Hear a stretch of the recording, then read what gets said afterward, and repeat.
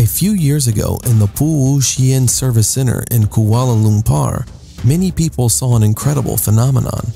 All of a sudden, some of the Buddha statues started moving, blinking, and beaming. The whole thing lasted about one hour. All the pilgrims like this one took out their smartphones and started making photos of this unbelievable miracle. Before the statues began to move their lips, it seemed like some kind of ray went straight into them. Employees claim that it was not the first time. Usually, they say it happens not long before some other cataclysm